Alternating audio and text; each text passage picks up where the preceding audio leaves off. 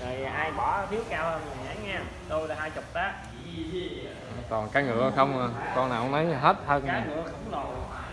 Ốc kèn nữa. Con ốc kèn chụp bá. Cái này há nguyên con ốc kèn à. Cãi chứ. Ở bình này ngâm được 2 năm rồi đó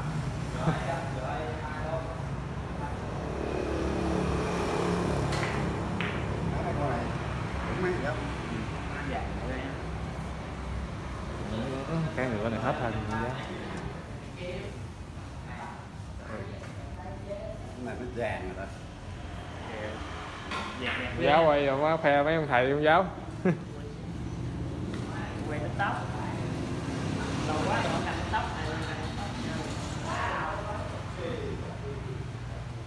đây bình cá ngựa mấy chục con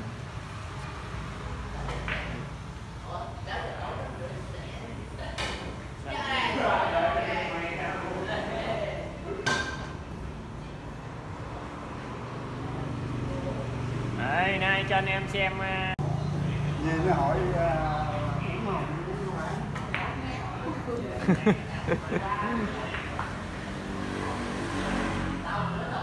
bình này giờ không biết định giá bao nhiêu mà bán nữa.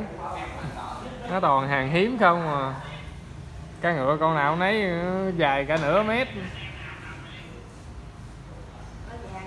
Ờ, ừ, nước giờ vàng óng ánh luôn cá ngựa đánh bắt ngoài khơi à, gần biển Singapore luôn. Quá đẹp. Hàng hiếm có 102 Đó, sưu tập à, mấy năm trời mới được nhiêu đây